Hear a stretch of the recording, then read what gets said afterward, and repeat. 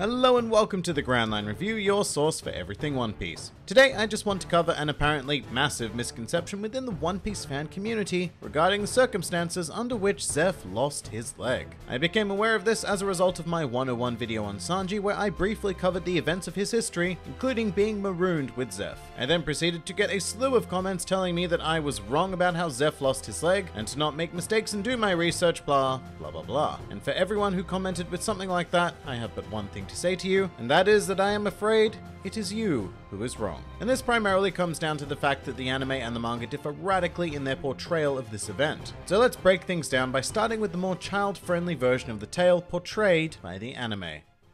One day, fearsome pirate Red Leg Zeff decided to perform a raid on a cruise ship named the Orbit, and things were going pretty well for Zeff until a fierce storm destroyed both ships, and a young boy was swallowed by the sea, exclaiming his dream of one day finding the All Blue as his potential final words. Zeff, possessing the same dream, decided to go out of his way to save the blonde-haired boy. However, during this attempt, Zeff's leg became caught in some wreckage, and in order to save Sanji, and I guess himself really, he wrapped the chains of an anchor around it and was able to sever the leg, rescue Sanji, and etc. We know the rest from there. I'd say this is the version that most fans are familiar with, particularly the legion of anime only watchers. And for this group of people, I'd like to proceed to blow your mind with the events that actually occurred in the manga. One day, fearsome pirate Red Leg Zeff decided to perform a raid on a cruise ship named the Orbit, and things were going pretty well for Zeff until a fierce storm destroyed both ships, and a young boy was swallowed by the sea, exclaiming his dream of one day finding the All Blue as his potential final words. Zeff, possessing the same dream, decided to go out of his way to save the blonde-haired boy. During his attempt, he succeeded phenomenally because he was a badass pirate and not foolish enough to allow his limbs to become caught in anything thing. However, we now had a new problem to deal with. Marooned on an island with only a pitiful bag of food that would need to last for weeks on end, Zeff made the decision to give all of the food to Sanji like the absolute legend he is. But Zeff would still need some kind of sustenance to keep himself alive, so he took a large, sharp